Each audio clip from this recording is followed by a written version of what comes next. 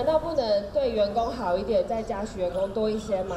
举着大大白布条，要求长龙加薪，改善古劳航班。长龙劳资双方九号上午再度展开二度协商，但会议还没开始，工会就已经先强调不排除采取罢工。空服员会不会罢工这问题，取决于长荣公司有没有给出合理的方案。我们希望今天公司可以给出我们合理的方案。不满外站津贴比华航的空服员少两美金，劳方要求长荣比照华航的标准，还要提高外站的休息时数，也要求公司开放员工选出代表劳方的劳工董事。那其实，在薪资的部分，长荣的薪资其实，在空服员它是远低于华航空服员将近一万块左右，所以我们希望可以就是有提升，然后甚至是可以补足的这个部分。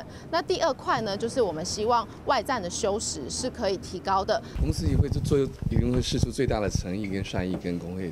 继续协商。面对劳方威胁罢工，长荣代表仅低调说会尽力协商，而桃园市府也强调会尽量的协调，避免罢工的情形发生。如果说调解不不成立，要采取这个各方面的这一个行动的话，那当然市政府这里是予以予予以尊重。这样，那当然我们也会尽力的去协调双方哦，避免这样的情况发生。团结，战斗。